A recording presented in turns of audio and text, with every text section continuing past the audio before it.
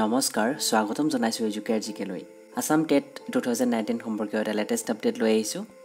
কালি আপোনালোকে নিশ্চয় এই বাতৰিটো পাইছে বহুতেই বহুতেই পোৱা নাই। প্ৰতিদিন টাইম চেনেলত এটা ৰিপৰ্ট ওলাইছিলে প্ৰতিবেদন এটাত আমাৰ শিক্ষামন্ত্ৰী ডাঙৰীয়াই কৈছিলে যে আছাম টেট টু থাউজেণ্ড নাইনটিনত এপ্লাই কৰিবলৈ বি এড বা ডি এল এড ডিগ্ৰী নালাগে। চ' প্ৰথমতে মই সেই ভিডিঅ' ক্লিপিংটো দেখুৱাইছোঁ।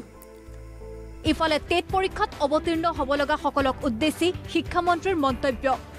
নতুনকৈ টেট পৰীক্ষাত অৱতীৰ্ণ হ'ব লগা সকলৰ বাবে প্ৰযোজ্য নহয় D El Ed B Ed degree.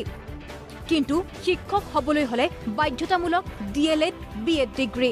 নহয় তেখেতসকলে পৰীক্ষাত বহিব পাৰে কিন্তু পৰৱৰ্তী সময়ত চাকৰি দিওঁতে আমি কি চাওঁ? আমি শিক্ষাগত অৰ্হতা চাওঁ পেছাগত অৰ্হতা চাওঁ আৰু টেটৰ উত্তীৰ্ণ হ'বলৈ। আমাৰ যিটো এন চি টিৰ গাইডলাইনছ আছে সেই গাইডলাইনছৰ মতে। চ' এইটো হৈছে ভিডিঅ' ক্লিপিং আৰু শিক্ষামন্ত্ৰী ডাঙৰীয়াই সেইটো কৈছে যে টেট দিব পাৰিব কিন্তু শিক্ষক হ'বলৈ হ'লে পৰৱৰ্তী সময়ত ডি এল এড বা বি এড ডিগ্ৰী ল'ব লাগিব। কিন্তু তেখেতে এন চি টি নৰ্মছৰ কথা ইয়াতে উল্লেখ কৰিছে। কিন্তু এন চি টিৰ নৰ্মছ অনুসৰি টেট দিবলৈ হ'লেও বি এড বা ডি এল এড ডিগ্ৰী থকাটো বাধ্যতামূলক। এই বিষয়ে আমি আগতেই আপোনালোকক অৱগত কৰিছিলোঁ আৰু সেই বিষয়ে আমি ইতিমধ্যে বাৰে বাৰে কৈ আছোঁ আপোনালোকে বহুতে সুধি আছে। এতিয়া শিক্ষামন্ত্ৰী ডাঙৰীয়াই কি কাৰণে এইটো মন্তব্য দিলে সেয়া আমাৰ অৱগত নহয়। আমাৰ কথাটো হ'ল আপোনালোকৰ সৈতে ইনফৰমেশ্যনটো শ্বেয়াৰ কৰা।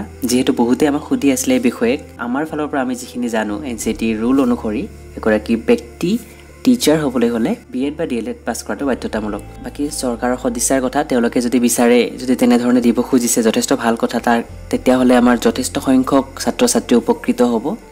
বি এড বা ডি এল এড নোহোৱাকৈ যদি টেটত বহাৰ সুবিধা এটা দিয়ে।